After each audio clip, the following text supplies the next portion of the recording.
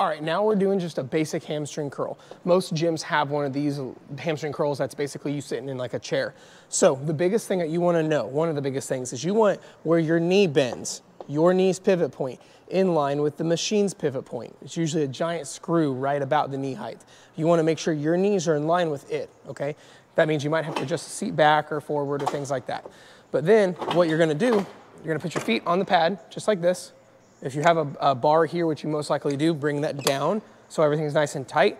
Feet straight up, straight ahead, and then you're gonna bring your heels to your butt this way. Then nice and easy back out. Don't arch your back, don't throw your body into it. Everything stays nice and stable, but your heels are going to your butt, just like that.